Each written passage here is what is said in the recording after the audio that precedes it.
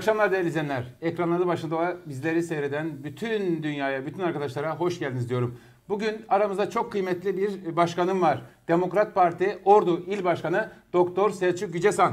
Ee, uzatmayacağım. Hemen konuya gireceğim. Çünkü gündem o kadar yoğun ki, konuşulacak o kadar çok şey var ki ben e, konuşmakla bu vakti geçirmeyeceğim. Çünkü bugün Demokrat Parti İl Başkanımız Sayın Selçuk Gücesan konuşacak. Hocam hoş geldiniz. Hoş bulduk. Sefalar getirdiniz. Çok sağ olun. Çok İyi ki geldiniz. ederim. Eyvallah. Hocam e, tanışma faslına geçmeden önce şunu ifade etmek istiyorum. Konuşulacak çok şey var. Var. Memleket meselesi konuşulacak. Ben de samimiyetine inandığım e, başkanlarımı e, burada ağırlamak istedim. E, davetimizi icabet ettiniz, geldiniz, iyi ettiniz. Buyurun hocam. Ben teşekkür ediyorum. Ee, bu fırsatı vermiş olmanız ve ekranlarınız aracılığıyla başta Ordulu hemşerilerimiz, Ordu'daki hemşerilerimiz ve Türkiye ve dünyanın her tarafına yayılmış, dağılmış tüm hemşerilerimiz Büyük Türk milletinin her bir ferdine sizler aracılığıyla saygılarımı, sevgilerimi sunuyorum. Ee, ekranları başına hoş geldiniz diyorum. İnşallah keyifli bir sohbet olur. Keyif alırlar. İnşallah onlara e, düşüncelerimizi doğru, olumlu ve samimi bir şekilde aktarabiliriz. Yansımalarını bu şekilde alabiliriz diye ümit ederek ben de buraya davetiniz dolayısıyla memnuniyetimi ifade etmek isterim. Ee, hoş bulduk. Sağ olun. Çok teşekkür ediyorum. Evet hocam. e, zaman zaman hocam diyeceğim. Çünkü e, doktorluk mesleğinizi e. O- şeye atamıyoruz. Evet. Çünkü biz size e, her zaman siyasi olarak bakmadık. Doğru. Sözünüze itimat ettiğimiz bir e, hocamız olarak, doktor olarak. Çünkü ülkemizde e, şunu ifade etmek istiyorum konumuza başlamadan Evet. önce. E, ne yazık ki bunu üzülerek söylüyorum. Hukuka güven kalmadı. Şu an hala e, güven tabiplere, doktorlara bu güven hala devam ediyor ülkemizde ve devam edeceğine ben e, inancım tam. O yüzden zaman zaman doktorluk sıfatınızda, zaman zaman bir abi sıfatıyla, zaman zaman da bir siyasi partinin il temsilcisi olarak sizinle bugün sohbet etmiş olacağız. Samimi olduktan sonra nasıl hitap ettiğinizin hiç önemi yok. Samimi olmak şartıyla istediğinizi söylemekte serbestsiniz. İstediğinizi sormakta serbestsiniz. Aynı samimiyetle, aynı içtenlikle cevap vereceğimi, cevap vermeye çalışacağımı da şimdiden açık çek olarak taahhüt ed- Evet. etmek O zaman isterim. ben e, şunu da altını çizeceğim e, Sayın Hocam. E, bütün samimiyetimle söylüyorum ki ben Selçuk Yücesan'ın e, samimiyetinden dolayı aslında burada Eyvallah. olmak istedim. E, dediğim gibi artık e, memleket meselesi programımızda isminde olduğu gibi siyaset e, meselesi değil, memleket meselesi. Bugün memleketi konuşacağız. Doğru. Nereden başlayalım hocam o zaman? Nerede- Memleketi konuşmaya. Ee, Hocam 103 amiralden başlayalım mı? konuşacak çok konu var. Çok konu var. Başlayalım. Hay hay. Amiral Peki. e, gündemi meşgul ediyor malumunuz. Bu amiral mevzusu nedir? Yani e, samimiyetle soruyorum bunu. Bilmek Samimiyetle istiyorum açıkçası. söylüyorum. Ee, samimiyetle cevap vereceğim ben de. Hakikaten Türkiye'nin gündemi artık e, haftalık, aylık değil neredeyse günlük değişir vaziyete geldi. Türkiye'nin gündemi yoğun. Türkiye'nin e, hem potansiyeli güçlü olduğu gibi sorunları da e, yoğun ve güçlü e, şekilde yaşanıyor. E, sorunlarını da yoğun ve güçlü yaşıyoruz. Tabii 103 amiral mi, 104 amiral mi? Valla onu Bir de- bile bilmiyorum. Bir de öyle bir tartışma konusu var. Ee, takıldığımız bir nokta orası. Ee, 104 amiral bir şekilde ifadelerinden de anlaşıldığı üzere ki hmm, basın yayın organlarına çıktı. Birilerinin ya da küçük bir grubun hazırladığı, küçük bir grubun bir takım hassasiyetleri gözeterek kaleme aldığı bir muhtıradır bu, doğrudur. Muhtıranın Türk Dil Kurumu e, sözlüğündeki anlamı açık ve net. Yazılı uyarıdır. Yazılı uyarı şeklinde kaleme alınan ve bunun altına imza atar mısınız? Anlaşılıyor ki öyle bir süreç yaşanmış. Bunun altına imza atar mısınız denilen diğerlerinin de imzaladığı bir e, metin şeklinde her nedense bilmiyorum gece yarısı ki hükümete özendiler herhalde. Bu ara gece yarıları Niye sabah, gece yarısı hocam? sabaha karşı kararnameler yayınlamak moda oldu biliyorsunuz. Bir bakıyoruz sabah sabah 04 sularında e, Merkez Bankası Başkanı son 20 ay içerisinde dördüncü defa değiştiği bir kararname yayınlanıyor. 02 sularında Merkez Bankası Başkan Yardımcısının değiştirildiği bir kararname yayınlanıyor. Her nedense bilmiyorum gece çalışmak daha mı iyi oluyor hükümet açısından daha mı rahat bir çalışma ortamı var? e, gece niye bu kararlar gece alınır? Niye gece yayınlanır? Bunun altında subliminal, subliminal bir mesaj mı vardır? Bu soruları e, tartışmanın çok anlamı yoktur. Evet. Aslında söylenen çok nettir. Bu söylenen net tavırdan, bu söylenen net ifadeden, bu ifadenin her ne kadar uslubu ve usulü tartışmalı olsa da ki tartışmalıdır hakikaten. Evet. Niye böyle tercih edilmiştir? Neden böyle bir uslup tercih edilmiştir? Niye böyle bir uslup tercih edilmiştir? Konusunu elbette tartışabilirsiniz. Elbette eleştirebilirsiniz. Ama içeriğine hiç bakmadan, içeriğini hiç ir- irdelemeden, içeriğindeki şikayetler, içeriğindeki yan, e, e, e, ifade edilen ifadeler, şikayet edilen hususlar, rahatsızlık belirtilen hususlarla ilgili en ufak bir şekilde tartışmadan direkt bunu bir darbe olarak adlandırmak, e, 104 ya da 103 her neyse tekaüt amiralden beylik silahı dışında bir silahı olmayan Türk, e, Türk Silahlı Kuvvetleri üzerinde muvazzaf subaylar üzerinde mevcut halleriyle herhangi bir yaptırımı, herhangi bir yetkisi olmayan bu amirallerden darbeye teşebbüs etmiştir, darbe çağrısı yapmışlardır ifadesiyle mm, olayı saptırmanın da doğru olmadığını söylemek gerekiyor. Doğru değildir kanaatindeyim. Tabii bu niye bu zaman yapılmıştır? Neden böyle bir usul ve uslup içerisinde yapılma ihtiyacı hissedilmiştir sorusunu da sormak lazım. Sorusunu da bir kenara koymak lazım. Ama bu soruyu sorarken, bu soruyu sorgularken, bu soruyu açıklığa kavuşturmak için de bu bir darbe teşebbüsüdür deyip de 104 tane adresi belli, kimliği belli, ilişkileri belli, geçmişi belli. Bu 104 amiralin bir kısmını sabah saat 6'da derdest edercesine gözaltına alma işleminin de ben bir yerlere, bir, birilerine, bizler de dahiliz bunun içerisine belki, belki başkaları da dahil bilemiyorum ama birilerine bir bir başka muhtıradır. Bir başka tehdittir. Bir başka uyarıdır. Bir başka gözdağıdır şeklinde yorumlamayı da e, işin doğrusu çok abes bulmuyorum. Bunun altında da böyle bir mantık etkiye tepki mi dersiniz? Etkiyi tepkiyle örtmek mi dersiniz? Ne derseniz deyin ama sonuçta ortaya çıkan tabloda elbette yargıya intikal etmiş de bir mevzu var. Soruşturuluyor. Ama ortaya çıkan tablonun getirdiği tek bir gerçek var. Ee, Bundan önceki hamlelerde de aynı gerçek ortadaydı.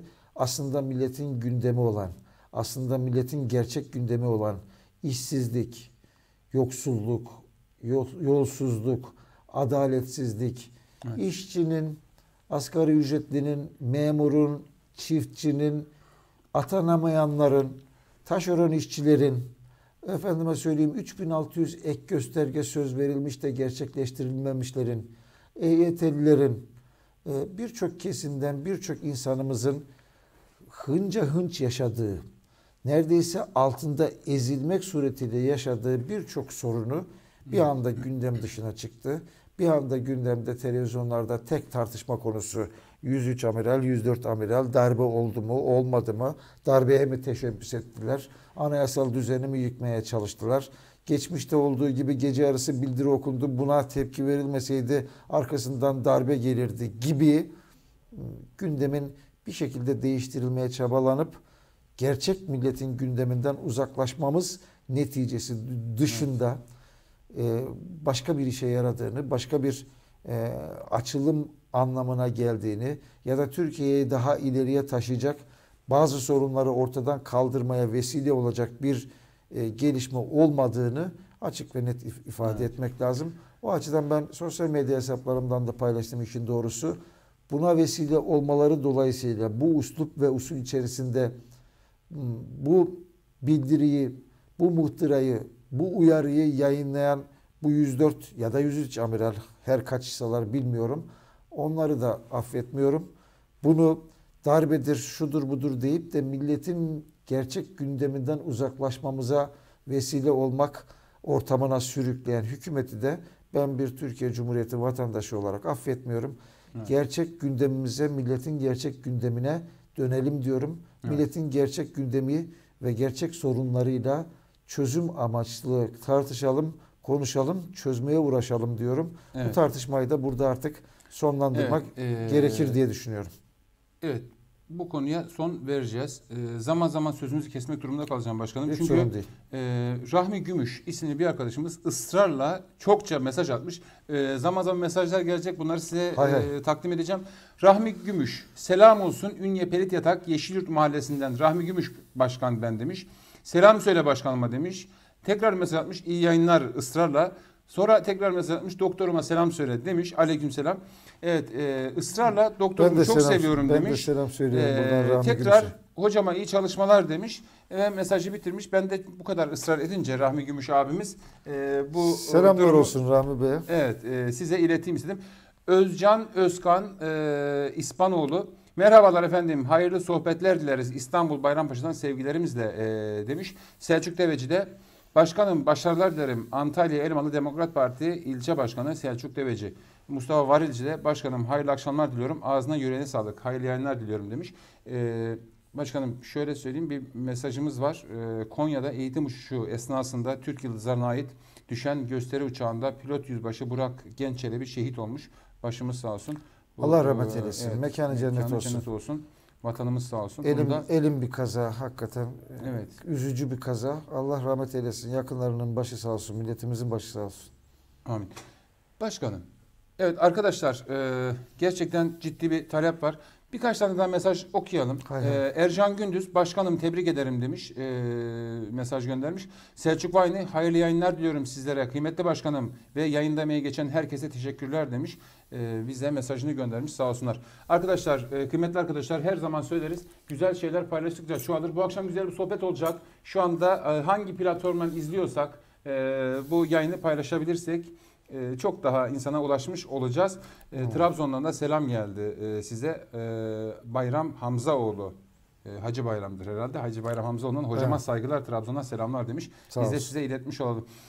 Hocam e, Demokrat Parti yani e, nasıl gelişti? Nereden icap etti? Oradan başlayalım mı? Şöyle tabii e, e, bizim siyasi geçmişimizi az çok ordulu hemşerilerimiz tanıyorlar, biliyorlar. Ülkücü gelenekten yetişmiş, ülkücü gelenekten gelmiş ve Milliyetçi Hareket Partisi'nde Sayın Milletvekilimiz Cemal Engiyurt'la birlikte siyaset yapmış. Milliyetçi Hareket Partisi'nde e, dördüncü sıra Ordu Milletvekili adayı olmuş. Sahada siyaset yapmış, aktif siyasette bulunmuş bir kimseyim. Bir Türk milliyetçisiyim. Türk milliyetçisi olarak öleceğim. Allah nasip ederse. Hmm, e, Siyaset e, içerisinde bu serüven devam ederken Sayın Milletvekilimiz Cemal Engürt benim aynı zamanda abi dediğim. Buradan da selam olsun sadece Sayın buradan selamlarımı söylüyorum. Ee, abi dediğim samimiyetine abi dediğim süreç içerisinde abi olarak inandığım, güvendiğim, tanıdığım, bildiğim ve birlikte hareket etmekten de her zaman onur duyduğum bir insan, bir siyasetçi e, ve kalender bir siyasetçi. Doğru bildiğini, doğru gördüğünü, eğri gördüğünü de her platformda ifade etmekten çekinmeyen cesur yürek, cesur e, kalpli, aynı oranda da şefkatli olduğunu bildiğim bir abim. Onunla birlikte siyaset süreci içerisinde ordulu hemşehrilerimiz ve milletimizin önemli bir kesimi o süreci biliyor.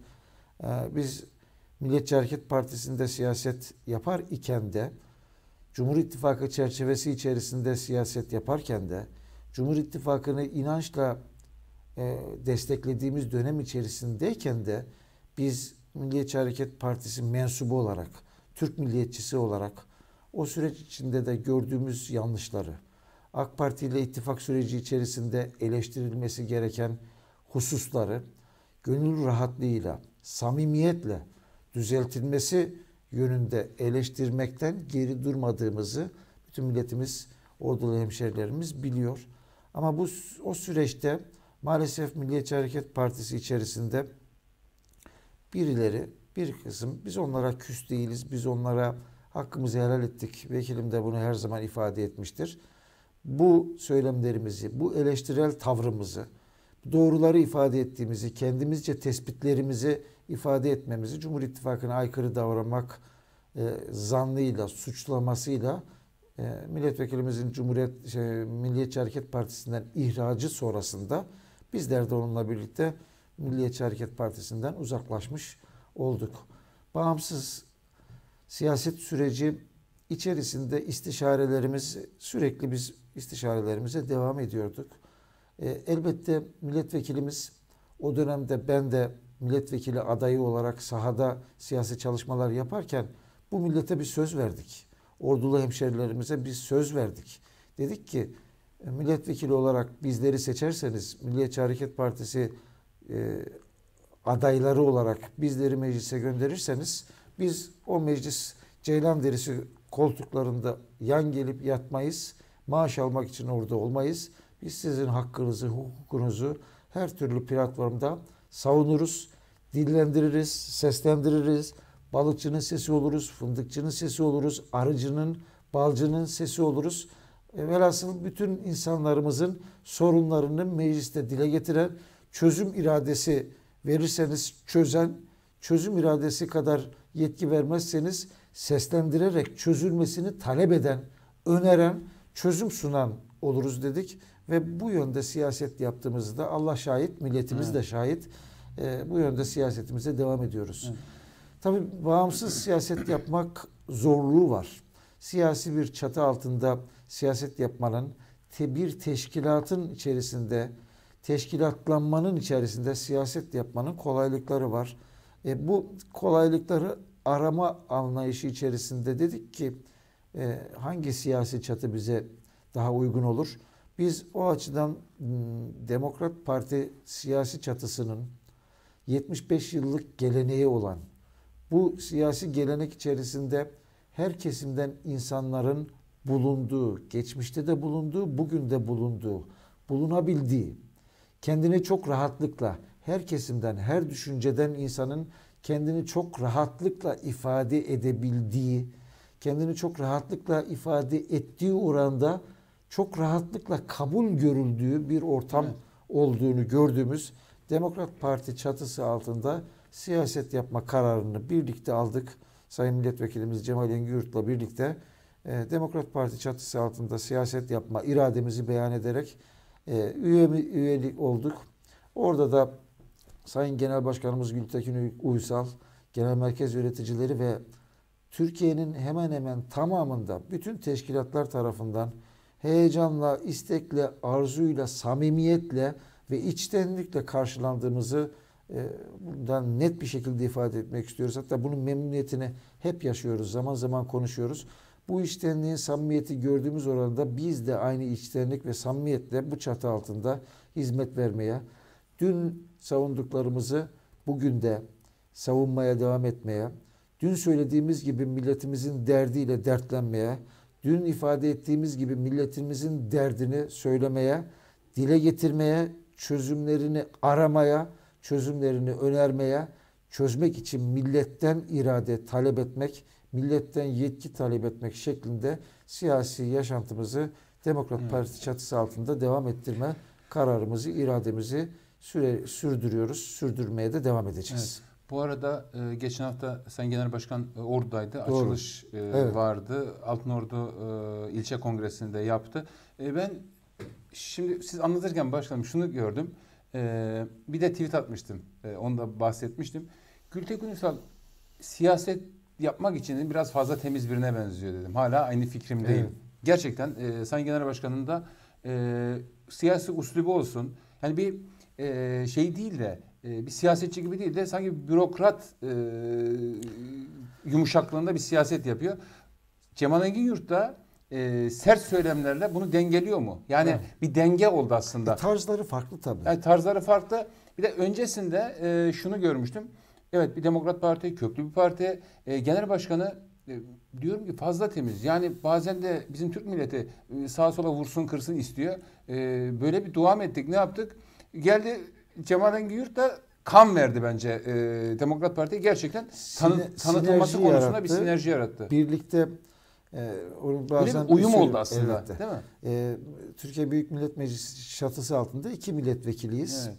Birisi e, Ordu Milletvekilimiz Sayın Cemal Engürt, diğeri de Afyonkarahisar Milletvekilimiz ve Genel Başkanımız Sayın Gültekin Uysal. E, birken iki olduk söylemiyle iki kişi ama etki alanı ve etki seviyesi iki kişinin çok üstünde bir birliktelik oluştu. Genel Başkanımız 1976 doğumlu çok genç, dinamik, eğitimli, bilgili, görgülü, aynı oranda tevazu sahibi, aynı oranda nezaket sahibi çok ciddi bir siyasetçi. Üstüne üstlük de 10 yıldır genel başkanlık görevini özveriyle sürdüren bir siyasetçi. Yetmedi. Demokrat Parti geleneği içerisinde dedesinin belediye başkanlığı vesilesiyle dedesinden demokrat, aileden demokrat yetişmiş. Bu geleneğin içerisinde çocukluğundan beri bulunmuş, çocukluğundan beri bu siyasi geleneğin içerisinde pişmiş. Dolayısıyla çok donanımlı ve bu siyasi hareketi, bu siyasi davayı dava olarak çocukluğundan beri benimsemiş, özümsemiş ve donanımıyla da genel başkanlığı bence e, net bir şekilde sonuna kadar hak etmiş ve layıkıyla yürütmekte olan birlikte yol arkadaşlığı yapmaktan memnuniyet duyduğumu açık ve net ifade ettiğim e, çok çok değerli bir insan. Onunla birlikte olmaktan Sayın Milletvekilimiz Cemal Engiyurt Aha Bey'imle birlikte Gültekin Uysal liderliğinde Demokrat Parti çatısı altında siyaset yapıyor olmaktan ziyadesiyle memnun olduğumu, Evet. ziyadesiyle haz duyduğumu, enerji verdiğini bu durumun bize söylemekten geri durmayacağım. Hakikaten Evet, e, iyi bir ortamda siyaset yapıyoruz. inşallah. Sağ olun. Ee, bir de e, temiz bir geçmişi aslında sizin için bir avantaj Elbette. burada. E, sonuçta e, siyasetinizin e, doğruluğunu savunacak aslında çok done var elinizde. E, Allah yardımcınız olsun, Sağ yolunuz olun. açık olsun diyorum. Birkaç mesajımız var. Zekai abi, Zekai Kabaçık iyi yayınlar demiş. E, zaten e, dedim hala niye iyi yayınlar mesajı atmadı? E, öyle bir gönül koyacaktım. Zeki Uslu, başkanım tebrik ederim. Lüleburgaz İlçe Başkanı Zeki Uslu, Demokrat Parti e, diye eklemiş. Serkan Çelenk, Serkan abime de selam olsun, iyi yayınlar demiş. İyi yayınlar, iyi akşamlar Sayın Başkan size kolay gelsin. Ateş Ordu'dan yandı demiş Ahmet Yaşa. Hakan Yıldız, e, sağ olsun var olsun TV52'mizin e, Ünye temsilcisi. İyi yayınlar Ahmet Bey. Sayın misafirimiz Ünye'mize hoş gelmişler, sefalar getirmişler der. Hakan Yıldız biz de kendisine selamlar, bulduk, saygılar gönderdik. Evet başkanım, e, şu an izleyicilerimiz e, birkaç tane platformdan bizi seyrediyorlar, e, izliyorlar, mesajla e, katılıyorlar. Şimdi e, biraz yerele inelim mi? Evet. E, gündem ekonomi. Bence ekonomi olması lazım. Çünkü gerçek gündeme dönmek lazım. Doğru. Aslında e, biz bu tür gündemlerin suni gündem olduğunu iddia ettikçe arkadaşlar bizi AK Partili olmamakla suçluyor. Ben de şunu ifade etmeye çalışıyorum. Artık zaman e, AK Parti, B Partisi, C Parti zamanı değil. Zaman memleket meselesi. Yani e, programımızın isminden de anlaşılacağı gibi. Bizim derdimiz aslında e, siyaset yapmaktan ziyade memleketin gerçek gündemini, e, samimiyetine inandığımız e, liderlerle konuşmak. Evet. Yani evet sizin samimiyetinize inanıyoruz. Eyvallah. Ülkenin ekonomik durumundan biraz da yerele inmek istiyoruz. Şu an e, artı avantaj şu var. Hekimsiniz. Bir hastanede her e, kesimden insanla iletişim halindesiniz. E, memleketin durumu nasıl başkan? Memleketin durumu hemen hemen şikayetçi olmayan kesimin kalmadığı bir halde. Milletimizin her kesiminin, milletimizin her kesiminden her insanının ızdırabı olduğu, ızdırap yaşadığı, sıkıntı yaşadığı, gelecekle ilgili karamsarlık içerisinde ne yapacağını, neler yapması gerektiğini bilemez vaziyette. Acaba gelecekte ne olacak, daha kötü mü günler bizi bekliyor karamsarlığına sürüklendiği bir ortamda maalesef yaşıyoruz. Bir takım bir taraftan pandemi dediğimiz virüs belasıyla hala mücadele ederken alabildiğine kısıtlamalar, alabildiğine bir açılmalar, bir kapanmalarla ekonomik ortamın sıkıntının alabildiğine yaygınlaştığı, üstelik bir yıldan fazla uzayan bu süreç içerisinde uzun süreli bu ekonomik sıkıntıların milletimizin çoğu kesiminin dayanma gücünü artık aşmış olduğu, boğazımıza değil artık neredeyse burnumuza kadar sıkıntıları yaşar, nefes alamaz vaziyete geldiğimiz bir ortamı yaşadığımızı, birçok kesimin bu ortamı yaşadığını itiraf etmek lazım. Görmek lazım. Her ne kadar birileri toz pembe e, atmosfer, toz pembe tablolar çizmeye çalışsa da ekonomimiz şaha kalktı, uçtuk uçacağız dese de sahada insanlarımızın hiç de öyle olmadığını hep birlikte görüyoruz. Maalesef birileri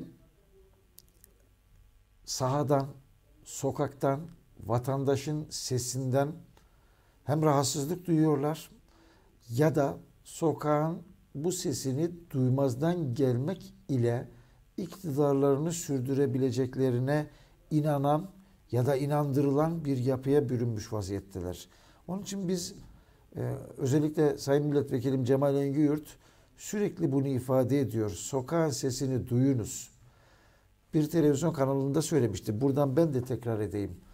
Ben Sayın Cumhurbaşkanımıza şu tavsiyeyi çok rahatlıkla yapabilirim. Haftada bir Ordu Milletvekili Cemal Engiyurt'u çağırsın Beştepe'ye. Külliyede Cemal Engiyurt'u dinlesin. Külliyede Cemal Engiyurt ona sokaktan haber versin. Cemal Engiyurt gibi siyasetçiler ki bunların sayıları son dönemde giderek azalıyor.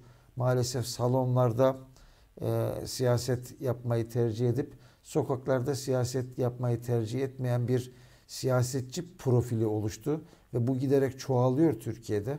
Cemal Öngürt hala sokaklarda gezen, sokaklarda doluşan, vatandaşla birebir temas edip vatandaşın derdini birebir dinleyebilen, dinlemeye yüzü olan, dinlemeye cesareti olan ve dinlediği oranda da e, dertlerin anlatıldığı, sokakta hoş karşılanan, ancak sen bizim derdimizi dile getirirsin şeklinde tepkilerle karşılaştığımız bir siyasi kimliği, bir karakteri, bir tutarlılığı hala devam ettiriyor. Bu tutarlılık içerisinde sokağın sesini dinlemek gerektiğini, sokağın sesini duymak gerektiğini, sokağın sesinden rahatsız olmamak gerektiğini bütün siyasi taraflara ifade etmek istiyoruz.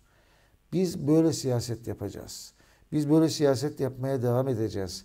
O sokaktan edindiğimiz izlenimleri, o sokaktan edindiğimiz dert ve sorunları her mecrada dile getirip duyulması için elimizden geleni yapacağız. Bu dile getirilen sorunların çözümleri noktasında çözüm önerilerimizi somutlaştıracağız, ifade edeceğiz. Somut çözüm önerilerimizi çözerse yetkililer ne ala teşekkür edeceğiz. Ama somut çözüm önerilerimizi duymazdan gelmeye devam ederlerse, ilettiğimiz bu dertleri, sıkıntıları dert ve sıkıntı olarak kabul etmeyip üzerini kapatmaya devam ettikleri noktada milletimiz bu yetkiyi mutlaka gözden geçirecektir. Sonuçta milli irade diyoruz. Bugün 19 yıldır iktidarı sürdürenlerin de söylediği bazen arkasına saklandığı, hatta bunu da ifade etmek lazım. Bazen de arkalar, arkasına saklandıkları bir ifadedir milli irade. O açıdan zaman zaman samimiyeti de sorgulanmaz değildir, sorgulanmalıdır diye düşünüyorum. Milli iradenin kararı her seferinde, her seçimde sandığa yansıyacaktır. 19 yıldır iktidar verenler millet her şeyi görüyor, değerlendiriyor. Bizim söylediklerimizi de görüyor, değerlendiriyor. Elbette millet e, en son en doğru kararı verecek olan millet olacaktır ve karar verdiği oranda ki biz bu kararın artık değişim yönünde olacağını, artık 19 yıldır e, bu ülkenin en büyük bütçelerini yönetmiş.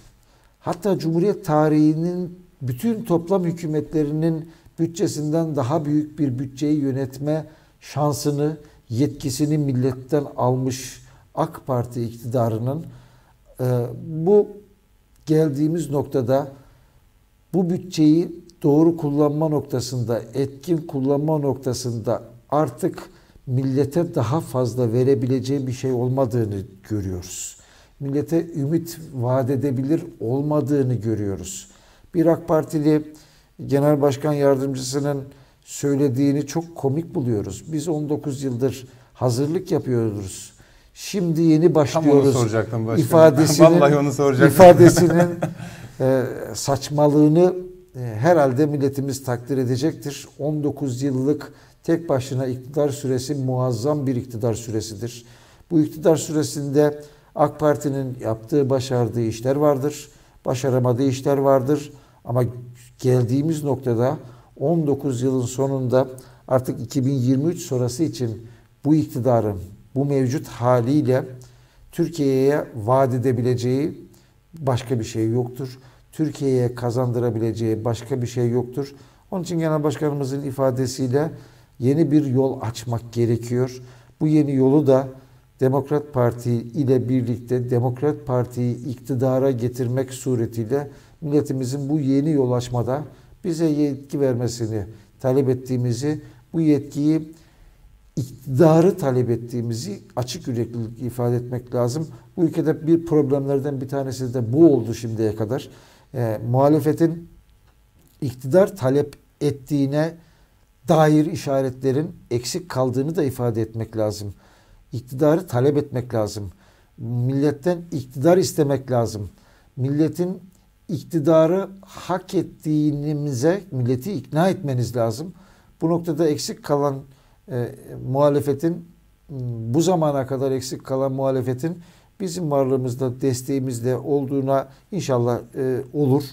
E, biz bu desteği ver, verdiğimiz için değil ama Demokrat Parti çatısı altında milletle beraber yaptığımız bu siyasetle milletin milletin vereceği iktidarı geçmişte olduğu gibi o 75 yıllık iktidarı e, e, siyasi gelenek içerisinde defaatle iktidar olmuş bu siyasi gelenek ve bu ülkeye önemli hizmetler üretmiş bu siyasi gelenek yeniden iktidar olmak suretiyle bu hizmetleri bu hizmetlerin devamını bugünkü aksaklıkların, bugünkü eksikliklerin, bugünkü e, AK Parti hükümetinin çözümsüzlüğe evrilmiş e, icra tıkanıklığını çözebilecek güce, kudrete, birikime ve geleneğe sahip Demokrat Parti iktidara e, gelecektir. Milletimiz teveccüh gösterecek, yetki verecektir diye ümit ediyoruz.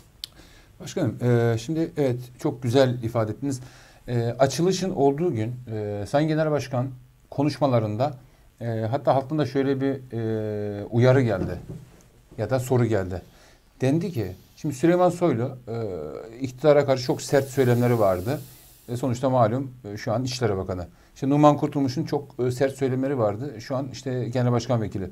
Acaba deniyor. Ben sokağın sesini size bir şekilde sormak durumundayım. Şimdi Gültekin Uysal da gerçekten bazı e, evet yumuşak başlı bir siyaset e, yürütüyor desek de bazen sert çıkışlar da olmuyor değil. Yani nokta atışı vuruşlarında görüyoruz hep beraber. Şimdi deniyor ki e, acaba deniyor yarın bir gün iktidarın yanında yer alma durumu olur mu? Bunu ben e, sokağın sesini size ulaştırmak durumundayım. Hay hay net net cevap vereceğim. Ee, biz de bu sorularla karşılaşıyoruz elbette. Ee, yeni yönetim sisteminin belki onu da konuşacağız. Yeni yönetim sisteminin getirdiği bir ittifaklar süreci yaşanıyor biliyorsunuz. Hangi ittifaktasınız?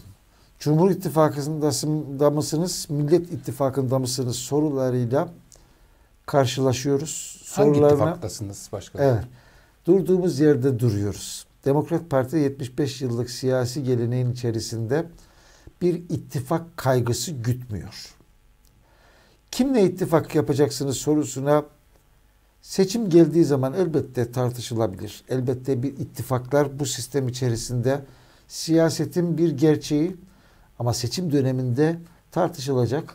Konsensüs sağlanabiliyor ise sağlanabilecek. Üstünde uzlaşılacak prensiplerin ortaya konabileceği bir anlaşma, uzlaşma süreci olarak gerçekleşebilir. Biz şu ittifakın içindeyiz, bu ittifakın karşısındayız. Ya da şu ittifakın yanındayız, Recep Tayyip Erdoğan'ın karşısındayız tarzında ona düşmanlık ediyoruz tarzında bir siyaset asla yapmıyoruz. Biz iktidar istiyoruz. Demokrat bir cumhurbaşkanı seçilebilsin istiyoruz. Hedefimiz budur kimle ittifak yapacağımızı söylemek mümkün değil, söylemem mümkün değil. Ama şunu net söyleyebilirim ki birçok defa ekranlardan Ordu Milletvekilimiz Sayın Cemal Öngürt ve Genel Başkanımız da ifade ettiler. Kimle ittifak yapmayacağımız açıktır. Biz yolsuzluk, yoksulluk, adaletsizlik ile bu ülkeyi geldiğimiz noktada karşı karşıya bırakanlarla yolsuzluk, yoksulluk ve adaletsizlik ile hala görmezden gelerek sürdürenlerle yolsuzluk, yoksulluk ve adaletsizlik yokmuş gibi davrananlarla ittifak yapmayacağımız nettir. O açıdan milletimiz e, bu kararımızı şimdiden söyleyebilirim. E, ittifak yapmayacağımız kesin bellidir. İttifak Evet, nokta. İttifak ne olur? O seçim satım halinde, seçim Evet. atmosferinde genel merkezler arasında yapılacak görüşmelerde bir konsensus sağlanabilir mi, sağlanamaz mı? Prensiplerde anlaşılabilir mi, anlaşamaz mı? Onu bilemem. Zaten Ama bizim e, net söylediğimiz bir şey var. Biz Demokrat Parti olarak e, Demokrat Parti olarak iktidar talep ediyoruz. Demokrat bir cumhurbaşkanıyla bu ülkeyi yönetmek istiyoruz. Hemen akabinden de ekleyelim. Yeni Cumhurbaşkanlığı yönetim sistemi tartışmasına belki buradan bağlantı yaparak söylemek lazım. Bizim e, mevcut sistemin arızalarını düzeltmek suretiyle mevcut sistem maalesef kendi önermesi olan etkin yürütme, etkin karar alma mekanizmasıyla Türkiye'yi ileri taşımak e, noktasından e, yanından ve yöresinden dahi geçememiştir. Geçememektedir. Etkin yürütme dediğiniz şey kanunları bypass eden, kanun hükümlerini ortadan kaldıran, kanun ihtiyacını e, yok sayan, Cumhurbaşkanlığı kararnameleriyle tek bir kişinin verdiği kararlarla neredeyse tek bir kararname ile ülkeyi yöneten, hemen arkasından yayınladığı kararnameyi değiştiren bir başka kararnameyle, onu da değiştiren bir başka kararnameyle bir kararsızlık ortamında kararnamelerle ülkeyi yönetir e, bir pozisyona gelen bu sistemin mutlak düzeltilmesi gerekiyor. Maalesef milletvekili, milletin vekili, Türkiye Büyük Millet Meclisi'nin denetim yetkisinin, gen soru yetkisinin elinden alındığı, bunlardan çok daha önemlisi, milletin vergilerinden toplanan devletin gelirlerinin bütçe yapma hakkının Türkiye Büyük Millet Meclisi'nin elinden alınıp Beştepe'ye Cumhurbaşkanlığına verildiği bir sistem içerisinde neredeyse sınırsız yetki ama sıfır denetim şeklinde kurgulanmış. Yargının hali zaten belli. Bağımsız, tarafsız yargı ile ilgili sorunlar yeni değil bu ülkede. Geçmişte de var olan bu sorunların benzerlerini hatta ağırlaşmış şekillerini yaşamaya devam ediyoruz. Türkiye'nin hangi sistem olursa olsun birilerinin söylediği gibi tırnak içinde söylüyorum o güçlendirilmiş parlamenter sistem dedikleri nedir? Neyi güçlendirecekler onu da bilmiyorum ama e, Türkiye'de demokrasi, özgürlükten, bağımsızlıktan, adaletten, e, hürriyetten bahsedeceksek olmazsa olmazın Cumhur, ister Cumhurbaşkanlığı yönetim sistemi deyin, ister parlamenter demokrasi deyin, adına ne derseniz deyin ama kesin ve net kuvvetler ayrılığının belirlendiği, uygulandığı, etkin bir şekilde takip edildiği, Sayın Genel Başkanımız Gültekin Uysal'ın açık ve net ifadesiyle söyleyeyim, tekrar edeyim. Milletvekillerinin seçim bölgesinin parti genel başkanlarının makam odaları olmaktan çıkarıldığı, milletin doğrudan seçeceği vekilleri belirleme süreçlerine de müdahil olabildiği bir seçim ve siyasal parti kanunu değişikliklerinin mutlak zaruret olduğu bir seç, seçme seçilme sistemi ile e, yeniden demokrasiyi kazanabiliriz. Yeniden bağımsızlığı sürdürülebilir kılabiliriz. Yeniden hürriyeti sürdürülebilir kılabiliriz. En önemlisi bu şartları muhafaza edebilir, sağlayabilirsek Türkiye'de barışı da sağlayabiliriz. Türkiye'de adaleti de sağlayabiliriz. Türkiye'de kardeşlik içerisinde, birlik beraberlik içerisinde birlik, birlik beraberlik içerisinde özellikle tekrar ediyorum e, üniter devlet anlayışı içerisinde anayasadaki tanımıyla Türk milleti birliği vatandaşlık aidiyetiyle hepimizin bağlı olduğu sadakatle bağlı bulunduğu bu coğrafyaya, bu vatana, bu millete, bu bayrağı e, severek bu ülkede başaramayacağımız şey yok.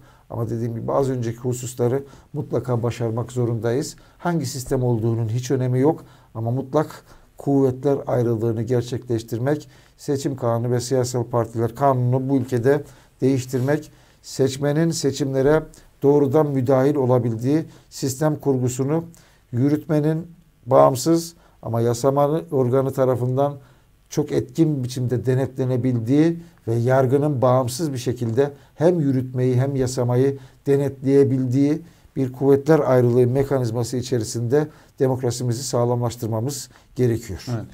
Başkanım e, birkaç tane mesajımız var. Mesajdan sonra şunu sormak isteyeceğim. E, Sayın Cemal Engin Yurt. e, Evet gerçekten ordu siyasetinde etkin bir isim. Evet. Şu anda e, Türkiye siyasetinde bu etkili etkinliğini gösteriyor. Fakat ben şunu merak ettim. Şimdi e, Sayın Engin Yurt e, Cumhurbaşkanlığı sistemi sürecinde yine sokaktaydı. Çünkü sokağa hakim. Evet.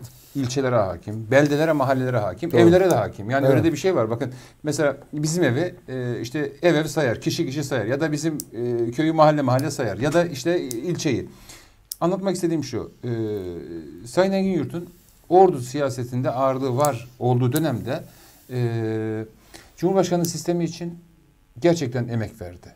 Yani bu sürecin buraya geleceğini bilmiyor muydu Ben de diye öyle. soracağım. Elbette. Bunu soracağım. Hay Ama hay. birkaç tane mesajımız var. Hay hay. Sayın Başkanım hayırlı akşamlar. Başarılarınız daim olsun. Yaradan Mevlam her daim sizinle olsun. Yar ve de yardımcınız olsun. Sevgilerimle Erdinç Erkan demiş. Bu ne güzel duadır.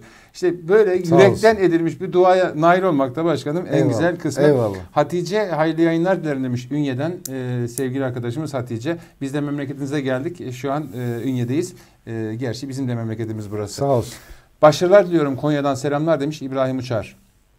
Ahmet Yaşa, Ünye ve İkizce'de Kaygı sülalesi eski demokratlardır. Ayrıca Rifaettin Şahin eski bakanımız onları da görmek isteriz demiş. Az önce e, Sayın Gültekin Uysal'ın ailesinin eski demokrat olduğunu bahsederken hay. aslında yazmış bu mesajı. E, evet Kani abi, Sayın Başkanım, Sayın İl Başkan Yardımcımız. E, şimdi Kani Özden'i ben e, siyaseten bakmıyorum Gö- Gerçekten gönül adamı derler ya başkanım. Gönül Hı. adamı. e, o da sizin yanınızda şu an il başkan yardımcısı Evet. durumda değil mi? Evet yanınızda. E, en sevindiğim kısımlardan biri de o oldu. Böyle güzel insanlarla beraber yürümekte. E, Eyvallah. Demokrat Parti İl Başkanım Sayın Selçuk Yücesan ağabeyime ve moderatör Ahmet Çelen kardeşime selamlar. Hayırlı programlar olsun inşallah demiş. Biz de sevgiler, selamlar, saygılar gönderdik. Teşekkür Ee, ederiz. Kani Başkanıma. Mustafa Varilci, başkanımı tebrik ediyorum. Sesimizi duyurdu. Demokrat Parti Akkuş İlçe Başkanı Mustafa Varilci demiş. Yusuf Sucu, tebrik ederim başkanım. Akdeniz İlçe Teşkilatı olarak demiş. Ee, Yusuf Sucu'ya Akdeniz'den bizleri seyrediyormuş. Sayın Başkanıma bize selam gönderelim. Muammer Özmen, çalışacaksanız, adalet olmayacaksa, işçiye, çiftçiye sahip çıkmayacaksanız, fabrika işsizliğe çare bulmayacaksanız, işe alımlarda torpil olacaksa, emekliliği gelenleri emekli etmeyecekseniz, temiz siyaset yapmayacaksanız gelmeyin demiş. Doğru mu demiş? Tam başkanım? da bunu söylüyoruz. Evet. Üç Muammer Özmen e, böyle demiş. Evet. Hatta altına eklemiş. Bunların hepsini yapacaksanız başımızın üstünde yeriniz var. Vatandaşı görüyor musun başkanım? Yani istedikleri de net. Eğer diyor bunlar olacaksa başın üzerine koy. Eyvallah. Birinde red var, birinde başın üzerine koy. Yani ortası yok yani. Çok doğru bir şey söylüyor. Bakınız 3600 ek gösterge. Bir iki daha mesajımız vardı. Hay hay, Çünkü okuyun. Serhat abiye ben ayıp etmek istemiyorum. Diyecek ki sıra bize geldi diyecek bıraktılar diyecek. Eyvallah. Avcı Serhat abim şimdi tüfeği de var. Ben e, Serhat abi mesajını okuyayım. İnandığımız yolda ama şeyi e, Muammer Özmen'in mesajına değinmek istiyorum. Onu konuşmak istiyorum Evet. başkanım sizde. İnandığımız yolda kıymetli Selçuk Yücesan Başkanımızın il başkanlığında ve çok kıymetli yönetim kurulu üyesi arkadaşlarımızla aynı yolu yürümek, ordu ilimize hizmet etmekten şeref duyarız demiş Avcı Serhat Çelebioğlu. Hakan Çil, Sayın Ordu İl Başkanımıza Artvin Demokrat Parti Teşkilatı olarak saygıyla selamlıyorum. İyi yayınlar demiş. Ee, biz de Artvin'e selamlar gönderdik. Kemal Erdem, başkanım selamlarımı sunarım demiş. Ee, yine Avcı Serhat Çeleboğlu abim. Başarmak için çıktık bu yola. İnanıyoruz çünkü. 75 yıllık bir siyasi kültürü yaşatmak için görevi devir aldık demiş. Harun Özbekçi, Selçuk hocam başarılar dilerim. Uzdemir Şenol da iyi yayınlar diye mesajını göndermiş. Evet az önceki mesaj e, gerçekten benim ilgimi çekti. Bir sefer de okumak istiyorum başkanım Hay hay, müsaadenizle. hay hay. Şimdi birinde tamamen red var. Ne istediğini diyor ben ne istediğimi biliyorum kardeşim diyor. Yani çalacaksanız adalet olmayacaksa işçiye çiftçiye sahip çıkmayacaksanız fabrikaya işsizliğe çare bulmayacaksanız işçi alımlarda torpil olacaksa emekliliği gelenler emekli etmeyecekseniz temiz siyaset yapmayacaksanız gelmeyin kardeşim diyor. Çok net. Red ediyor. Çok net. Ya da diyor bunların hepsini yapacaksanız başımın üstünde yerim var. Evet. Yani birinde e, tamamen e, sert tepkiyle reddetmiş, birinde başının üzerine koymuş. Çok- E, bir Çok de doğru bir tepki. Hatice hoş geldiniz ailecek izliyoruz ve sizi Ünye'de ağırlamak bizim için şereftir demiş. Sağ olsunlar, Sağ olsun. var olsunlar. O Hatice şeref bize aittir. Evet. Buyurun başkanım. 3600 ek gösterge 19 yıllık AK Parti hükümetleri boyunca her partinin söz verdiği, AK Parti de dahil buna.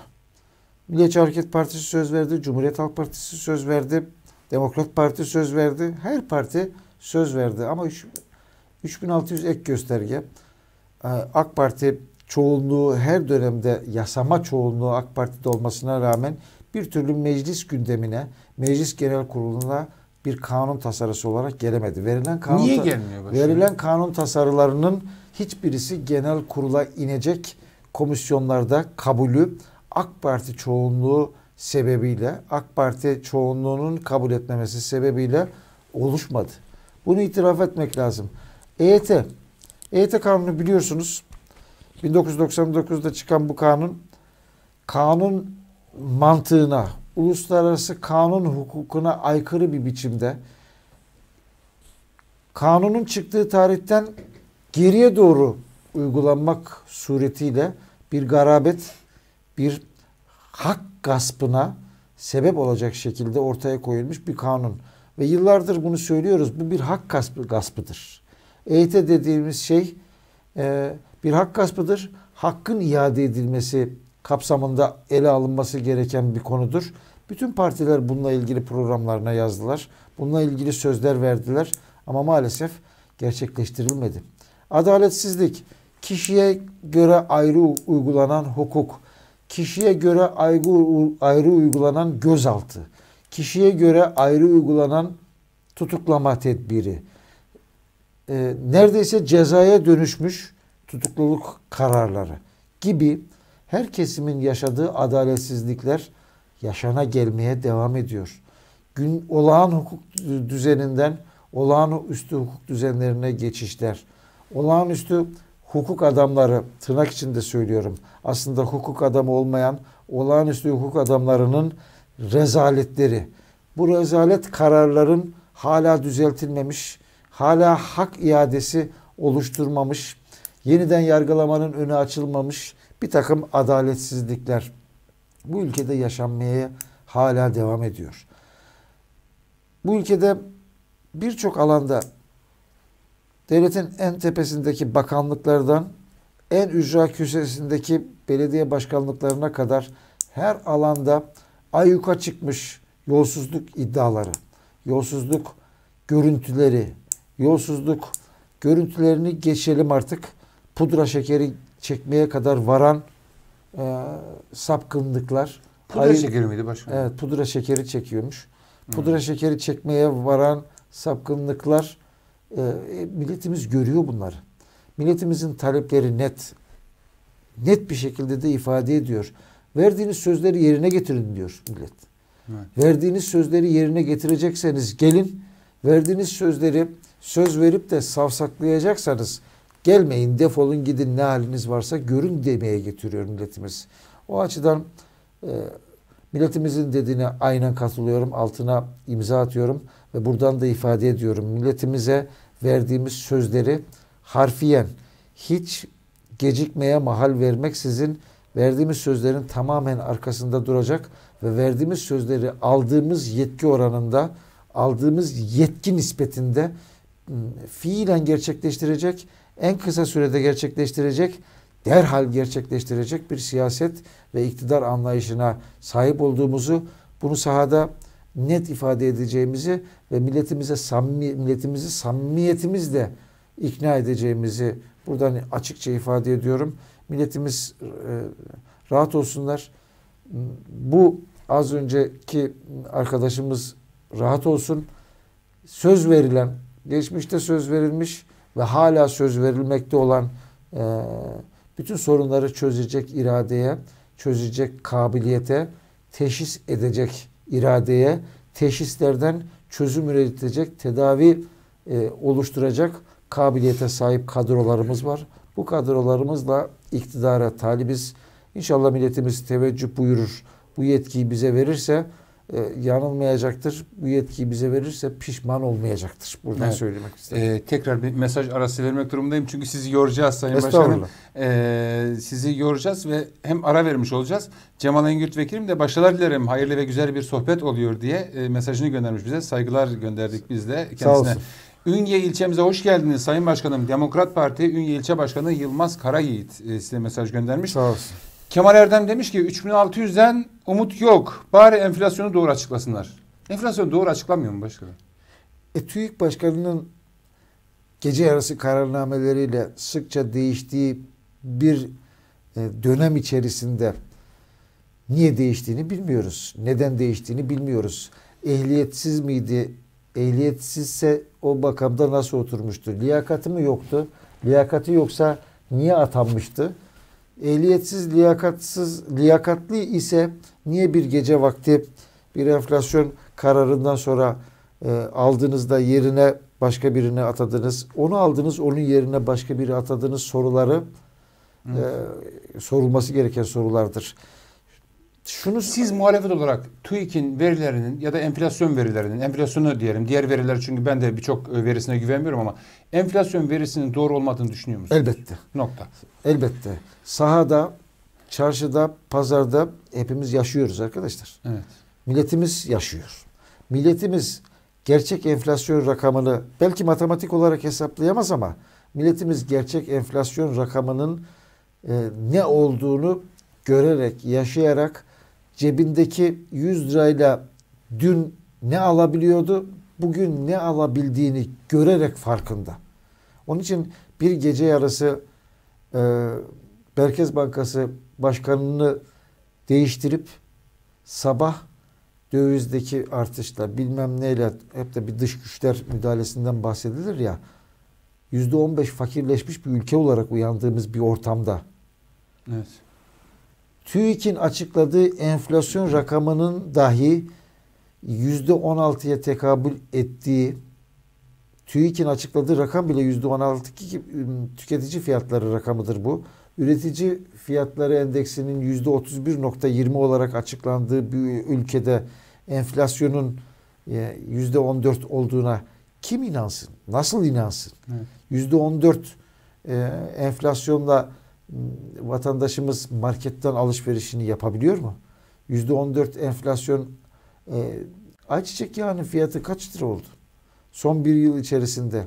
Geçen sene 80 liralar civarında olan 18 litrelik bir teneke ayçiçek yağının bugün 240 lira üzerinde fiyat olmasının açıklaması nedir?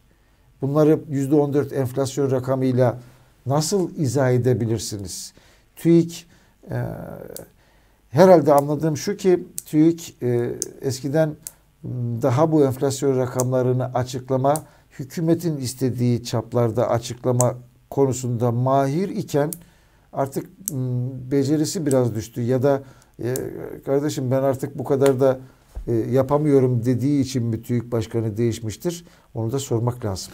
Şimdi başkanım e, şöyle aslında sizin e, açıklamanızda da bir vahamet e, ortaya çıkıyor. Şöyle e, hem alanınız olduğu için e, söyleyeceğim. Deniyor ki e, günümüzde vaka sayıları veya ölüm sayıları net bir rakamla açıklanmıyor. Bu konuda diyor e, şeyler var. Yani vatandaş buna güvenmiyor. Evet. Şimdi TÜİK verisine güvenmiyor.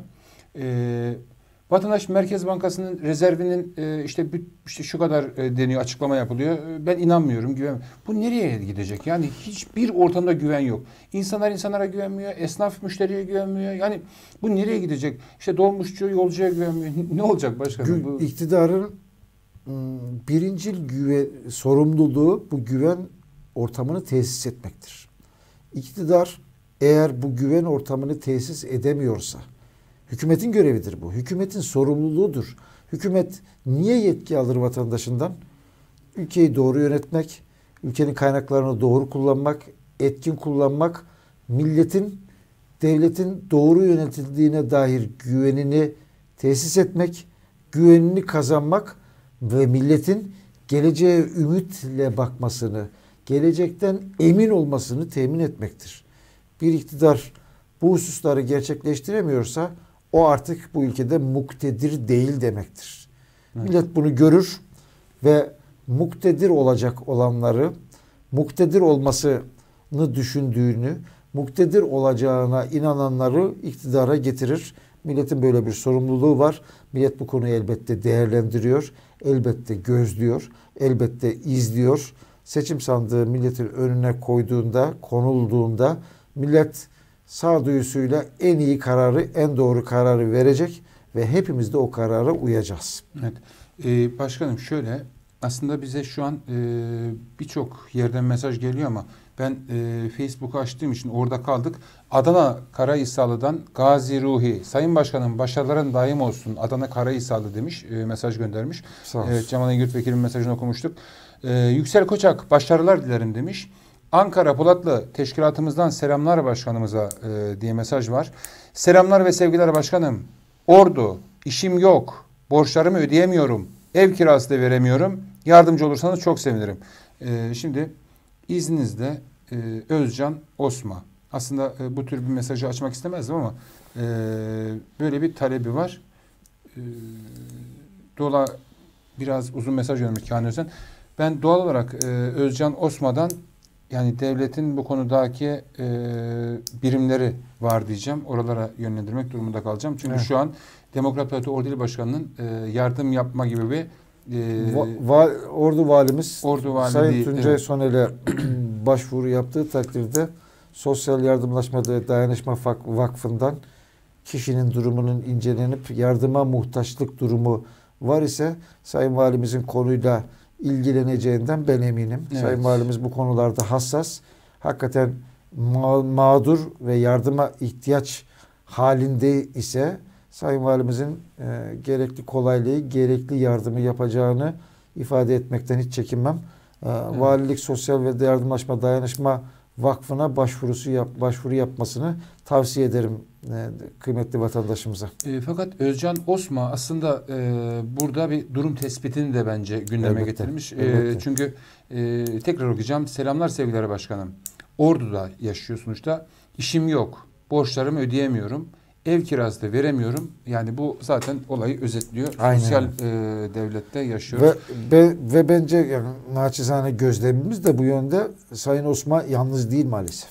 Evet. Sayın Osman gibi e, ordu için söylemeyeceğim tabii bütün Türkiye için yüzler, binler belki de milyon mu var artık bilemiyorum. Evet. Hakikaten sayıları Allah çoğalıyor. olsun. Ben e, Kani Özen abinin uzun mesajı var. Bunu okuyacağım ama e, şöyle de bir e, konu var. Bunu değinmeden e, geçemeyeceğim başkanım. Biz diyoruz ki evet tarafsızlık diye bir şey yok artık. Ben özellikle bu son zamanlarda buna inandım. Eyvallah. Ama e, adil olmak var. Her zaman söylüyorum. Adalet. Adalet. Adil e, olacağız. Adil düşüneceğiz. E, şimdi her zaman ifade Adil de ettiğimiz- değerlendireceğiz. Ha, Herkesi. her zaman ifade ettiğim bir şey var. Eğer Selçuk Yücesan e, doğruları e, söylüyorsa evet doğru diyebilmeliyiz. Erdemlik budur. E, karşı taraf yanlış konuşuyorsa e, evet bu yanlıştır diyebilmek de o erdemliğin diğer yarısıdır diye Aynen. düşünüyorum. Şimdi tarafsız olun demiyoruz. Değerli izleyenler tarafsız olmayacağız tabii ki. Herkesin Evet, tarafı olacak. elbette. Fakat adil olacağız. Adil olmak zorundayız. E, Kani Özen abim İnsanlar sevgi istiyor, sevilmek istiyor. Kutuplaşmayı, sert söylemeleri, hakaret vari söylemeleri benimsemiyor. En önemlisi esnafı, işçisi, çiftçisi adam yerine, insan yerine konulup dertleriyle dertlenen siyaset ve siyaset adamlarını istiyor. Bu itibarla biz demokratlar olarak esnafın, işçinin, çiftçinin velhasıl mağdur insanımızın yanında olacak, dertleriyle dertlenecek, siyaset üretmek, çözüm noktasında vatandaşın sesi olmak istiyoruz. Amacımız, gayemiz mutlu, gülen yüzlü insanların varlığını çoğaltmaktır. Vatandaşımızın yüzünü güldürmektir, güven duygusunu tazelemektir demiş Kani Özen. Daha ne desindi? Güzel mi? Başkanım daha ne desin? Bunu hamaset olarak algılamasın sevgili vatandaşlarımız. Hakikaten samimiyetle bunu hissediyoruz. Evet. Samimiyetle bunu düşünüyoruz. Birilerinin bunu yapması lazım. Bakınız e, Cumhurbaşkanı yeni yönetim sisteminin ittifaklar sürecinin bu ülkeye getirdiği doğal bir sonuç olarak algılamamak gerekiyor. Evet ittifaklarla karşı karşıyayız. İttifak süreçleriyle bir seçim e, kurgusu dayatılıyor neredeyse. Ama Türkiye buna mahkum değil. Türkiye samimiyet istiyor. Türkiye bu ittifaklar sürecinde ortadan neredeyse yüzde 50 artı bir ile iktidar olmanın getirdiği o seçim sistemi dolayısıyla yüzde 50-50 bölünmüşlüğü istemiyor. Türk milletinin böyle bir talebi yok. Türk milletinin böyle bir arzusu da yok. Ama birileri ısrarla tarafgirlik üzerinden ya o taraftasın ya karşı taraftasın. Ya buradasın ya oradasını körüklemek suretiyle. Karşıtlığı körüklemek suretiyle. Karşıtlıktan taraflar taraftarlarına bir konsolidasyon sağlamak, taraftarlarını bir arada tutmak suretiyle iktidarlarını muhafaza etmek ya da iktidara gelmek anlayışıyla bir siyaset kurgusu bu ülkeye yapılabilecek en büyük kötülüktür diye düşünüyoruz. Bu kut- kötülükten hakikaten uzaklaşmamız lazım. İnsanlarımızı bu anlayışa ya oradasın ya buradasın seçimine zorlamaktan uzak durmamız lazım. Taraftarlığı, tarafgirliği körüklememek lazım. Adil yargılama, adil denetleme, adil değerlendirme hepimizin e, bir gün gelip ihtiyacı olacağı bir husus. Siyasette de bunlar esas olmalı. Evet. Milletimizden her siyasi parti bu gözle tarafkirlikten uzak, ideolojik yaklaşımlardan uzak, ideolojik sahiplerle değil ama ne söylediğinin, niye söylediğini, ne vaat ettiğini, bu vaatlerinde ne kadar samimi olduğunu adilane bir biçimde objektif kriterlere dayanarak değerlendirsin ve en doğru kararı versin. Ricamızdır. Bunları söylemeye de devam edeceğiz sahada. Şimdi başkanım biz e, alandayız. Yani biz sahadayız. Evet. E, gerek mesleki olarak gerek ben e, Cemal Vekil'le mesela hep sokakta karşılaştık. Gerçekten e, o konuda e, En çok Sokağı gezen, bilen birisi. En çok gezen milletvekilidir Evet. Cemal Vekilim. Ben açık ve net ondan daha çok gezen, insanlara ondan daha yakın duran bir milletvekili tanımadım ben. ben e, MHP onun MHP döneminde de e, Evet. siyasetini seviyorum. Çünkü dobro oluşunu seviyorum. Yani e, net net oluşunu seviyorum. İşte biz sokaktan şunu öğrendik. E, az önce ifade ettiğim gibi adil olmayı. Yani bugün evet herkesin bir e, gönlünde siyasi bir e, partisi vardır ama Olabilir, bence elbette. adil e, olmayı. Hatta bugün AK Partili olmamakla suçlandım ve açık ifadem tehdit edildim. Yani e, hala mesaj Messenger'da e, mesajlarım duruyor. Evet. AK Partili olmamakla tehdit edildim. Yani arkadaşlar e, sadece bir durum tespitini AK Partili olmamak diye değerlendirmemek lazım. Az önce dediniz ya halk kutuplaştı. Evet. Korkutucu olan da bu zaten. Doğru. Ben bildiğim doğru şunu diyebilmek istiyorum ya. Evet ben Selçuk Yücesan'ı yaklaşık 15 yıldan beri tanıyorum. Kişiliğiyle, duruşuyla, samimiyetiyle inandığım bir doğrudur. Bunu diyebilmek zorundayız. Ben bunu dedim diye e, AK Parti olmamakla Arkası, suçlanmam çok arka- bir şey. arkasından eksiklerimizi, yanlışlarımızı da ifade etmek lazım. Bunları da Bu- ifade çünkü- etmek, bu eleştirilerden de doğruya ulaşmak için bir sentez oluşturmak lazım. Doğruya doğru, yanlışa yanlış, eğriye eğri, adile adil, adil değile de hep birlikte adil değil bu diye karşı çıkma alışkanlığını millet olarak kazanmamız lazım. Bunda e, bir takım menfaatleri, siyaset olsun, siyasi menfaat olsun ya da maddi menfaat olsun, hangi çeşit olursa olsun bireysel menfaatleri, Bireysel ikbal kaygılarından uzak, bu ülkenin menfaatlerini, bu milletin menfaatlerini, ortak değerleri benimseyerek, ortak değerlerde ortaklaşarak adil olmak, adil davranmak, adil değerlendirmek lazım. Milletimizin yapması gereken bu. Milletimizden beklentimiz bu. Bizim de bu beklentiye doğrultusunda üreteceğimiz siyaset de bu vasıflar, bu kalıplar içerisinde olacak. Bu kalıpların dışına taşmayacağız. Evet. Samimi görecekler bizi her zaman. Evet. Her zaman doğruyu yapacağımıza, her zaman e, doğruları söyleyeceğimize söz veremeyiz. Bazı söylediklerimiz yanlış da çıkabilir. Bunu da açık yüreklilikle ifade edecek kadar yanlış yaptık burada kardeşim diyecek kadar yanlış söylemişiz burada diyecek kadar da samimi siyaset yapacağız. Evet. Yanlışlarımızı da ortaya koyacağız ama başkalarının yanlışlarını da hiç gocunmadan, hiç korkmadan, asla e, ne baskı altında kalırsak kalsın, hangi baskılara uğrarsak uğrayalım, cesur bir biçimde yanlışları da kimin yanlışı olursa olsun rahatlıkla ifade edebilir bir siyaset yürüteceğimizden emin olacaklar. Bunu da müşahede edebilecekler vatandaşlarımız. Evet. Başkanım az önce ifade ettiğimiz gibi samimiyetinize gerçekten inanıyorum. Şimdi e, en azından sorgulamak ve doğrulamak adına e, buradan şunu açık yürekli de söylemek istiyorum. Hiçbir zaman CHP ile uzaktan yakından e, bir alakam olmadı. Ama e, birkaç cümle yazdım aslında bugün. Ve bu e, AK Partili arkadaşlar tarafından CHP'nin söylemi olarak adlandırıldı. CHP'nin söylemi mi bu? Ee, buradan da kısaca değinmek istiyorum. Sadece bir dakikanızı alacağım. Ee, şöyle başladık. Gündeme ilişkin birkaç kelam edip gideceğim dedim.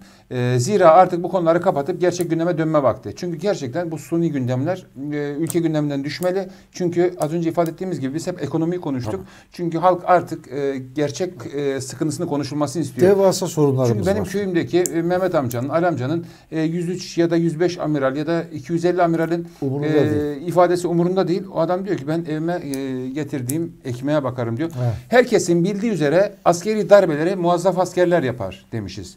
Elinde yetki ve silah olanlar yani. Emekli, sivil, yetkisiz kimseler darbe falan yapamazlar. Şayet Türk Silahlı Kuvvetleri içerisinde böyle bir tehdit gerçekten varsa bunun hesabı Genelkurmay Başkanı ve Milli Savunma Bakanı'ndan sorulur, sorulmalıdır dedik. Evet. Türk Silahlı Kuvvetleri'nde gerçekten bir darbe hazırlığı var ise derhal bu grup veya gruplar açığa çıkartılmalı. Muazzaflar hesaba çekilmelidir eğer böyle bir şey varsa. Sivillerin bildirisinin tarzı, uslubu, zamanlaması vesaire elbette tam bir provokasyon ve skandal. Evet. Bu şahsi fikrim. Evet. Provokasyondan hayali darbe karşıtlığı devşirmek ise politik rantçılıktır e, diye ifade ettik. Avrasyacı söz konusu emekli paşalar aslında bunu ben e, Sayın Cemal Yurt'tan dün akşamki programında da e, beni teyit etmiş olması beni mutlu etti açıkçası. E, çünkü e, ismini de verdi dün akşam şu an hatırımda yok. Emekli paşalar e, ekranlara çıkarıp mavi vatan söyleme aslında onların ifadesiydi. Tabii.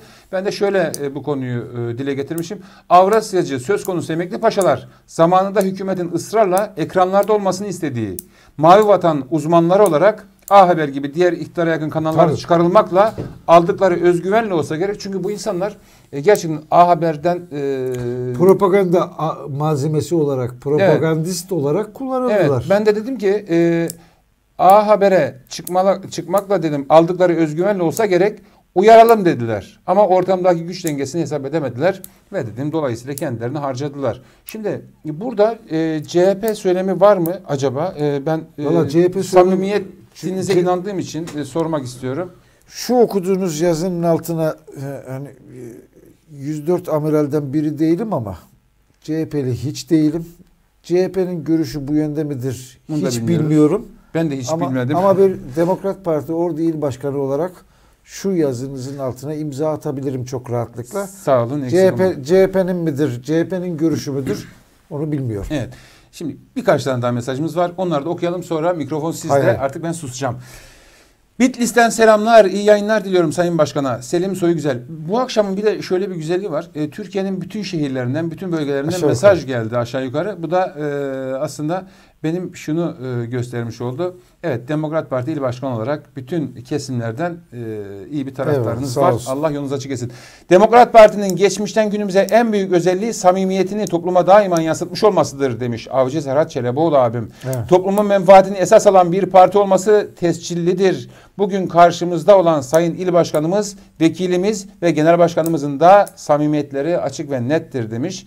Ee, o zaman ne diyelim iyilik kazansın diyelim mi demiş Kani abi, Kani Özen.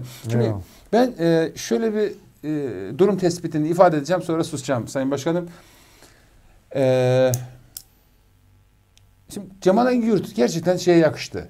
Demokrat Parti'ye yakıştı. Bunu samimi olarak söyleyeyim. İnan, Eyvallah. inandığım doğrudur e, söyleyeyim. Yoksa hiç kimsenin bir beklentim olmadı. Hiç Eyvallah. kimsenin menfaatim Eyvallah. olmadı. Yani bir hiç kimseden bir çay dahi menfaatim olmaz. Allah şahidimde de olmayacaktır da. Olursa da e, kimse de bana bir çay dahi ikramın etmesin. Eyvallah. Beklentim olmadı olmayacak. Şimdi e, Demokrat Parti'ye yakıştı. Şöyle yakıştı. E, her kesimden az önce ifade ettiğiniz gibi her kesimden e, insanların kendisini kabul gördüğü e, geçen açılışa geldi mesela.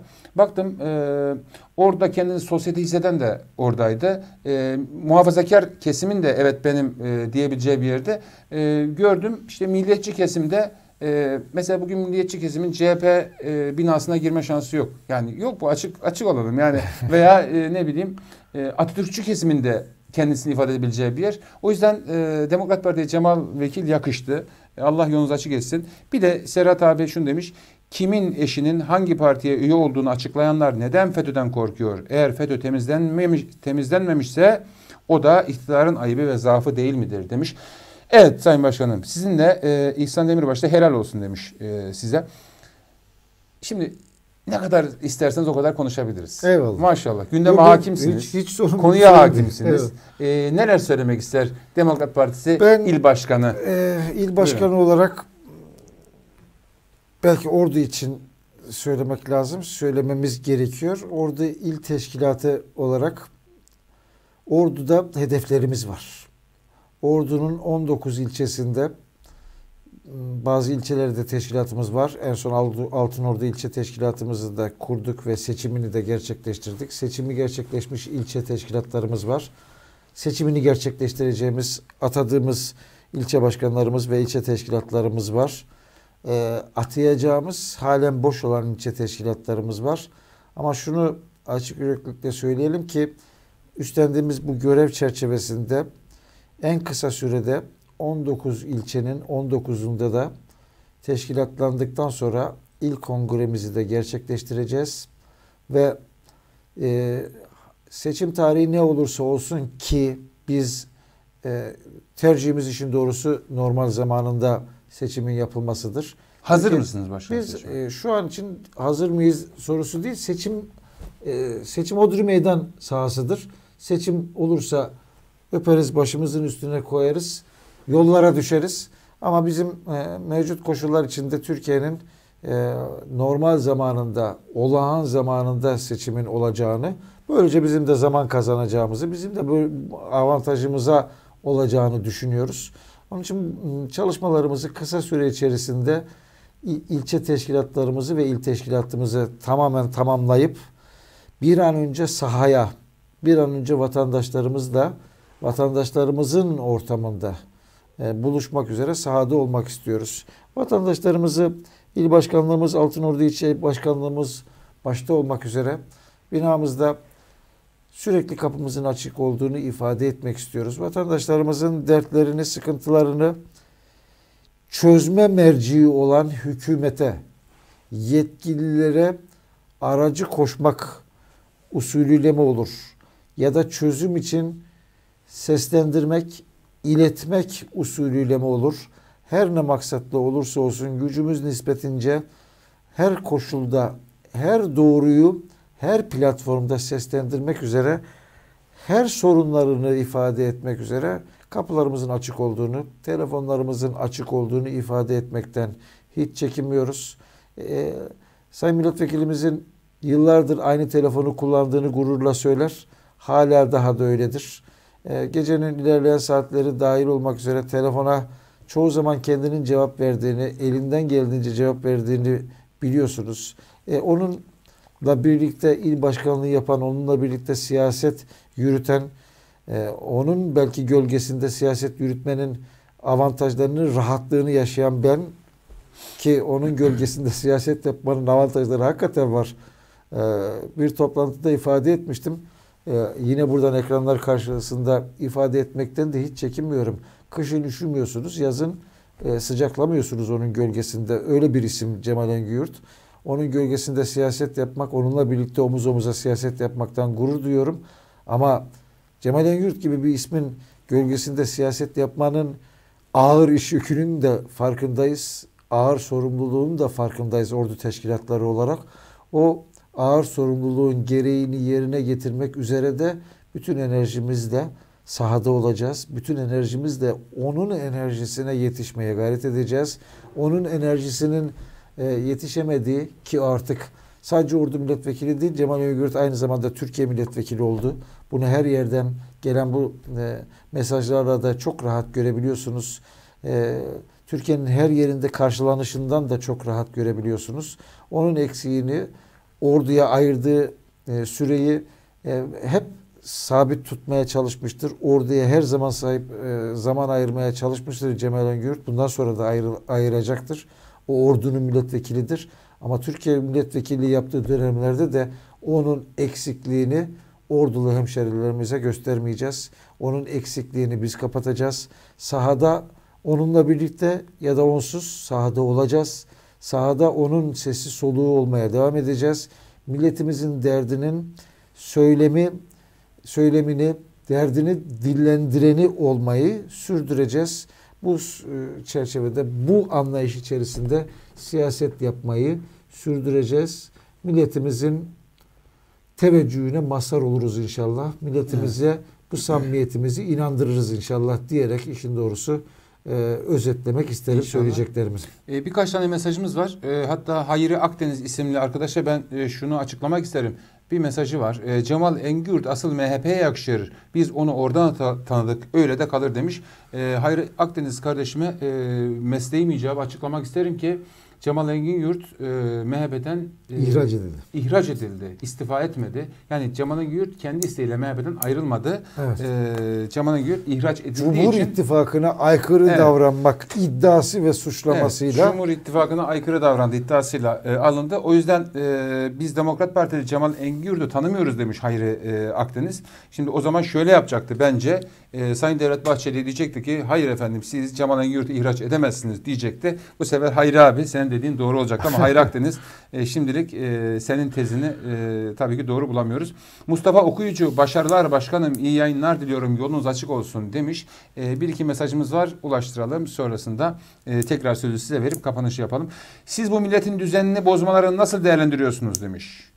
Bunu pek anlamadım ama rahmetli Menderes haksız idamı veya e, haksız idamı reva görenlerin bu davranışlarını ben kabullenmiyorum bilgilerinize demiş. Hasan Demirel e, ne demek istemiş ben açıkçası anlamadım. Adnan Menderes'in idamını kim kabul edebilir ki ya da evet, kabul eden var mı acaba? Ben kabullenmiyorum bilginize demiş. Biz de kabullenmiyoruz aslında. Cemal Vekilimin sesini özledik. Kendilerine başarılar diliyorum. Yolunuz açık olsun inşallah demiş Mustafa Okuyucu. Hasan Kır, hayırlı yayınlar. Bence sokağa inmek lazım. Halka eğilmek lazım. Millet geçim sıkıntısında işsiz, güçsüz, tarım bitmiş, çiftçi perişan, saygılar başkanım demiş. Eyvallah. Ee, gerçekten. Doğru söylüyor Şimdi, Hasan Kır. Konu siyaset meselesi değil. Ben e, CHP'li değilim, MHP'li değilim, e, Demokrat Partili değilim. Konu gerçekten programımızın isminde olduğu gibi memleket meselesi. E, o yüzden bu vatandaş da e, aynı ifadeleri kullanmış. Bence demiş sokağa inmek lazım halka eğilmek lazım. İşsiz güçsüz tarım bitmiş, çiftçi perişan saygılar başının. Ercan Gündüz, Cemal Engin Ordu vekilinden Türkiye vekili olarak Demokrat Partililerden, ailelerden kabul etmiştir demiş. Evet, e, Demokrat evet. Partililer aileden Sağ kabul olsun. etti. Evet bu güzel yayın için Moda TV'ye Ahmet Çelenge Sayın Selçuk İçersen Başkanım teşekkür ederim demiş. Avcı Serhat Çeleboğlu abim e, daha ne desin de bu akşam gerçekten evet e, ben bir teşekkürü şu an Demokrat Partili arkadaşlara etmek istiyorum. Bu akşam il başkanınızı yalnız bırakmadınız. Mesajlarınızla e, programa katılımınızla desteğinizi göstermiş oldunuz. Aslında çok da söyleyecek bir şey e, yoktu. Memleket meselesi diye noktalamış Avcı Serhat Çeleboğlu. Eyvallah. Başkanım. E, hep klasik sözdür ya biz ayrılan sürenin sonuna geldik. Şey. Şu an tam 90 dakika olmuş ama açık ifade edeyim ben 90 dakikanın bu kadar hızlı geçebileceğini çok e, düşünmüyor hoş, hoş bir sohbet Gerçekten geçti, 90 dakika çok hızlı evet. e, geçti. Tam 90 dakika oldu şu an. E, acelemiz yok. Toparlayacak olursak neler söylemek isteriz? Ben e, başta ordulu hemşerilerim olmak üzere e, bütün milletimiz saygıyla sevgiyle tekrar selamlıyorum. Bütün milletimize şu açık yürekliliğimizi şu samimiyetimizi ifade et, ettiğimizi etmeye devam edeceğimizi yinelemek istiyorum. Samimi siyaset yapmak gerekiyor. Siyasette samimi olmak gerekiyor. Hayatın her alanında samimiyet gibi siyasetin de artık samimi olması gerekiyor.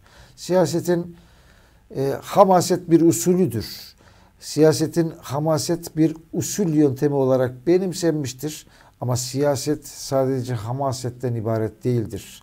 Siyasetin samimiyeti kabul e, kaybetmemesi gerekiyor. Onun için biz Demokrat Parti olarak genel başkanından en ücradaki ilçe başkanına, ilçe teşkilat mensubuna, ilçe üyesine, mahalle temsilcisine kadar vatandaşımın içerisinde, vatandaşımızın içerisinde samimi olarak bulunacağımızın sözünü veriyoruz. Vatandaşımızdan alacağımız samimi söylemleri, dertlerini, sıkıntılarını samimiyet içerisinde değerlendirip samimi değerlendirmelerimiz neticesinde çözümlerinde de samimi olacağımızı ve verdiğimiz her sözün arkasında durup verdiğimiz her sözü yerine getireceğimizi, çözemeyeceğimiz hususlar olur mu? Elbette olacaktır. Ama çözmek için irade koyup işbirliği yapacağımızın sözünü, çözmek iradesi noktasında da samimi olacağımızı, samimiyet ölçüsü içerisinde bir siyaset sürdüreceğimizi ifade ediyoruz. E, vatandaşımız bu samimiyetimizi gördüğü oranda bize de samimi davranacak sandıklarda da samimi bir biçimde destekleyecektir diye düşünüyoruz. Bu duygularla izleyen tüm vatandaşlarıma destekler veren, mesajlarıyla destek olan, katkıda bulunan tüm hemşerilerime, tüm vatandaşlarımıza, Türkiye'nin her yöresinden e, teşkilat mensuplarımıza, teşkilat mensubu olmayan diğer vatandaşlarımıza, her partiden, her ideolojiden, hangi ideolojiden, hangi partiden olursa olsun her vatandaşımıza ekranlarınız aracılığıyla saygılarımı, sevgilerimi sunuyorum. Muhabbetle selamlarımı iletmek istiyorum. Ee, başkanım ben de aslında e, tam kapatacak iken 3 tane mesajımız geldi. Buyursun. Saygısızlık olmaması adına.